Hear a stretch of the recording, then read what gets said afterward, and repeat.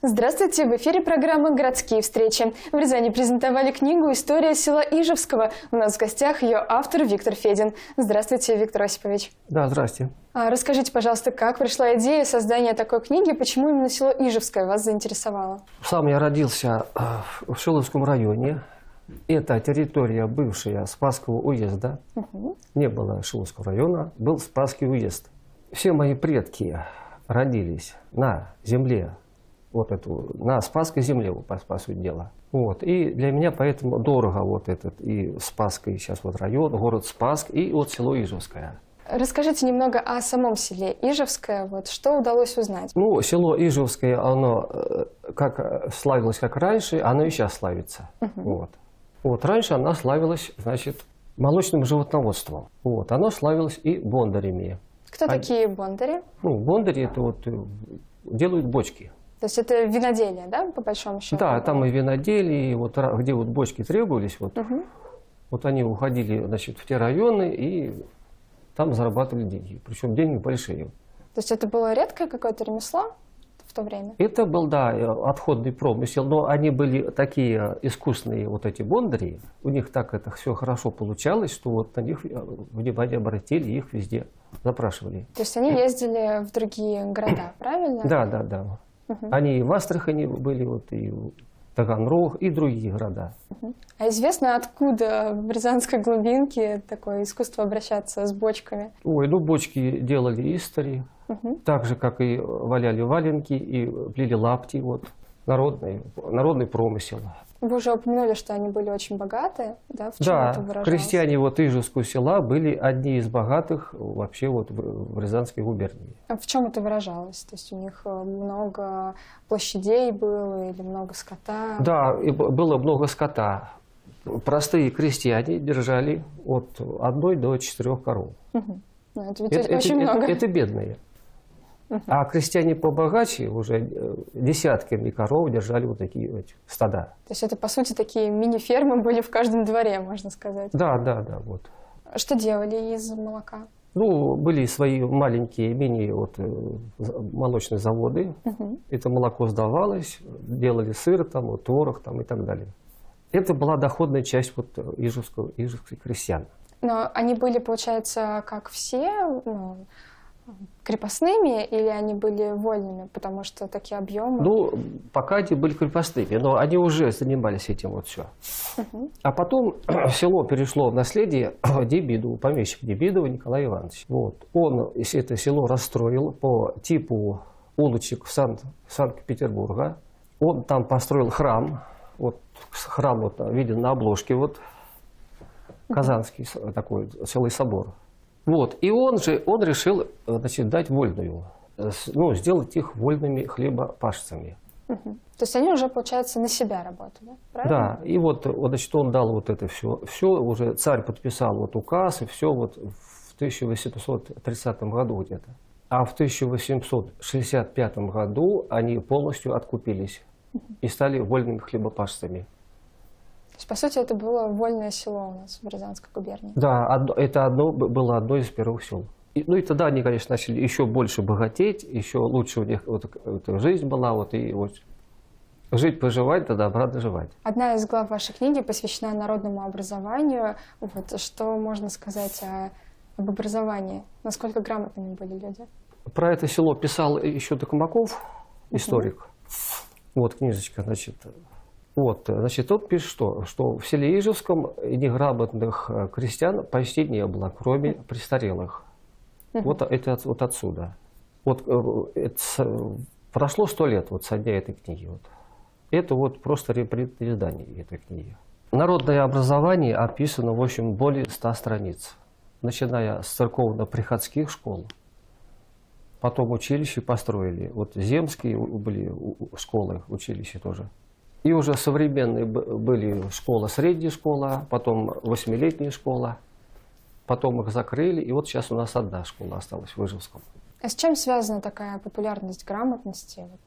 В Спасском уезде значит, было вот как-то вот развито народное образование. То есть в целом во всем, да? Да, вот в целом. Ну и вот поэтому как-то вот Вот Спасский уезд вообще выделялся вот как-то вот среди других уездов вот, Рязанской области. Одна из э, глав вашей книги посвящена Великой Отечественной войне, да, как э, село Ижевское проявило себя в эту пору. Так, ну, по Великой Отечественной войне у меня, у меня вышло две книги, одна из них вот такая вот. Вот, они сражались за Родину. Мгм. Вот, это вот девушки 18 до 21 года были призваны на фронт. Это вот 50 человек только было призвано вот с Ижевского и 25 с Городковича, Лакаш село. Вот эта книга как бы вот этим посвящена. То есть они были не медсестрами, а именно воевали или медициной занимались? Кто как. Вот, были и пулеметчицы были. Мгм. И вот бабушка, вот, э, вот эта бабушка, вот, э, значит, э, работала на аэродроме, заводила самолеты. Вот, на автомобиле подъезжала к самолету вот, и, и раскручивала вот этот маховик, и э, заводили двигатель вот так вот. Голод- голодная, холодная. Я ее застал в живых еще, эту бабушку. Вот она все рассказывает, как будто было вчера. Вот бабушке был 91 год, вот, а она все помнит. Вот такие вот парадоксы. В книге говорится и о исторической части села Ижевского, и о современности, да? Что было самым сложным? Вот э, раскопать архивные данные или все-таки поговорить с очевидцами сегодняшнего дня? Ну, архивные данные это как бы проще. Вот э, это было, вот я благодарен, вот поднял я, значит, фонды Ижевского музея имени Циолковского. Мгм. Вот там э, много материала оттуда я, вот, за что я ему благодарен. Ну, брал я материалы и в школе в Ижевской, и в библиотеке, и люди вот как-то предлагали, вот э, что-то давали, там предлагали. Насколько охотно рассказывали о своих родственниках? Ну вот, а, значит, воспоминания о школе, например, есть. Вот люди вот написали воспоминания о своей школе, как они учились. Вот, и очень интересно. Вот. И учителя писали, и вот ученики. Что вам больше всего запомнилось вот из этого? Вот, по школе тут у них, значит, целые династии школьные. Мгм. Это вот династии Бубукиных, династии Зориных, Учителя школьные, да? Да, школьные учителя. Вот, э, я встречался я с ними, да. Вот. Зорина Валентина Васильевна, старейший вот учитель, вот, тоже вот все рассказывала, и фотографии у нее брал, спасибо вам. Вот. э, Холодкова Александра Михайловна. К ней не зарастает и по сей день школьная тропа. Вот ее бывшие ученики, ее навещают, идут, вот, и советы вот, э, по, по жизни, что-то вот, это вот. В общем, дом не закрывается, как бы. Вот она мне помогала также вот, что-то там редактировала, вот, и я давал ей вот эти чер- черновики еще, когда книги не было. В книге очень много иллюстраций, что не характерно да, для исторических изданий такого рода. Откуда фотографии? Почему они сохранились? Ну, это Ижевская. Вот, в Ижевском, значит, село такое уникальное, своеобразное, старинное. Там был, до революции был фотограф Филатов. Мгм. И вот он как фотолетописец, получается. Он эти фотографии наделал, он их сохранил, и потом передал все это. Что в основном он фотографировал? Чего больше Вот, всего? жизни села, храмы, вот, храмы, которых уже нет. Каз- Казанский храм, вот, вот какой, каким был Казанский храм, например, вот. Сейчас уже он в другом совершенно виде. Никольский храм, в котором крестили Циолковского, ничего не сохранилось. Вот осталось только Казанский и Успенский храм. То есть именно на его фотографиях теперь можно увидеть как раз Да, вот благодаря вот этому фотографу Филатову вот эти фотографии, они остались. Были даже вот ижевские составы, были вот прямо вот на обложке здесь. Вот, тоже не сохранились. До войны их сломали. То есть облик города достаточно сильно изменился, да, с тех пор? Да, и облик села. села меняется прямо вот по- не по дням, а по часам. Мгм. Эти магазинчики, вот все, все это застраивают. Улица Красная, это вообще старинная улица. Мгм. Самая такая вот она. Ну, сейчас там вот ее уже как бы не узнать. Что было самым сложным при работе над книгой? Вот объявлял всем, всем вот и учителям, вот давайте вот давайте материалы, фотографии свои семейные, пишите. Все молчат. Редко-редко кто откликнулся. Вот Холодкова Александр Михайлович, спасибо вам большое. Вот. Зорина Валентина Васильевна, Ирина Геннадьевна Одесина, Анисина. Вот. И другие. А так, в общем-то, учителя вот э, особые, вот я вот, и даже как бы спросить бывает некогда. не у кого.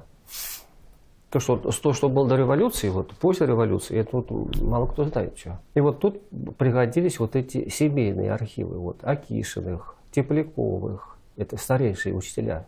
Это ведь не первая книга, которую вы написали. Что было до этого? Что вас интересовало? Ну, до этого была та же вот история Малой Родины, история села Инякина, вот, где жили мои предки. А чем в основном там занимались? Ну, гремел колхоз, колхоз доброволец, он колхоз-миллионер, и вот был Романов, председатель колхоза. Угу. Он строил хорошие дома для своих колхозников. И вот сейчас по Инякину едешь, вот любо дорого посмотреть. И люди по сей день Роману вспоминают и его хвалят. Вот такой был председатель колхоза. То есть до сих пор сохранились, да, постройки все? Да, да, в них люди живут. Угу. Вот я в одном из таких, таких домов был, вот так все это было устроено, такие площадя и прям вот. Почему вы вообще решили заняться написанием книг? Вот э, заинтересовала вас история именно Малой Родины? Что вдохновило? Ну, какой-то, наверное, дар вот проснулся во мне, вот я начал писать. Угу. То есть это было неожиданностью даже для вас? Да, хотя я материал вот давно еще собирал, вот еще сын был небольшой, вот, лет 10 ему было, мы с ним что-то ездили, там, что-то изучали там ездили по святым источникам. У меня вышла книга по святые источники Шиловской земли. Какой том... самый крупный, вот, который нужно посетить обязательно? Да, ну вот озеро апостола Петра и Павла, угу. это село Борки. А, святой источник великомученицы Пороскевы Пятницы. Угу. Это село Салаур. Там туда столько народу едет, столько это, и, и купальня, там все, источник обустроен, люди купаются воды набирают вот буквально флягами, с собой везут. И москвичи заезжают, и рязанцы, и, вот, и местные. И вот. Самый популярный источник – это село Соловур. Где можно прочитать ваши книги, вот где их можно найти? Ну, в библиотеке, да, в Горького, конечно. В Горького все книги мои есть. Угу. А, если кто-то заинтересовался тоже историей своей малой родины, вот подскажите, с чего начать? Вот какой первый шажочек нужно сделать для того, чтобы начать собирать информацию, чтобы вдохновиться этим? Ну, начать э, со своего села, со своей деревни, угу. со, свои, со своих родственников, нативов, своих э, прапрадедушек. То есть семейного древа? Да, вот семейное как бы древо сначала, а потом уже вот как уже там истории, там вот как, как образовалось там и все. А вы составляете свое генеалогическое древо? Ой, нет, я так вот пытаюсь собрать. Угу. Вот. Так вот пишу, что-то собрал, но не все. Надо еще ездить, э, вот пока еще кто-то живые родственники, вот бабушки, которые могут что-то еще поведать. Потом спросить будет не у кого. Все-таки бабушки, дедушки – это основной источник информации вот, при да. исторической работе. Ну, еще можно покопать в архиве метрические книги угу. и другие там материалы. Это в нашем Рязанском, да, как раз архиве? Да. Кстати, вот в Выжевском, значит, здесь описаны, значит, э, рода дворянские, значит, Лисаковы. Угу. Вот, прям вот несколько страничек вот посвящено вот. То есть дворянский род тоже проживал в селе Ижевское, да? Да, там много было дворян. Угу. Вот, даже, значит, родословная. Угу. Лисаковых, Соловьевых, Мамыриных, Хопровых. Вот, вот несколько страниц и фотографий, вот и все вот проведено. Вот, старинные фотографии. Вот. Получается, сразу несколько дворянских семей, да, было в семье Это вот э, малая часть, угу. вот, которые собрали. А так вот можно там по любой фамилии вот так копать и собирать. Спасибо вам большое за интересную беседу. Удачи вам в ваших новых начинаниях. Надеюсь, будут еще книги. А нашим зрителям я напомню, что в гостях у нас был Виктор Федин. До новых встреч.